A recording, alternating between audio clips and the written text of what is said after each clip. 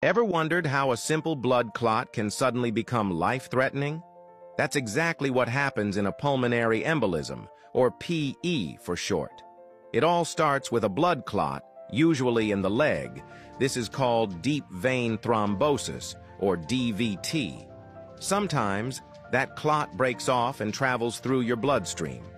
Until, boom, it gets stuck in the arteries of your lungs. That's a pulmonary embolism. Now your lungs can't get enough blood, and oxygen levels drop fast. You might feel short of breath, chest pain, or even start coughing up blood. Scary part?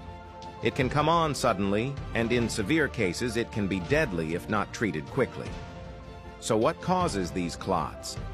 Long periods of sitting, surgery, smoking, certain medications, or even genetics can increase your risk. The good news? It's treatable with blood thinners, oxygen, or in serious cases, surgery. Your body will always give you signals. Don't ignore them. Follow for more life-saving health facts in 60 seconds or less.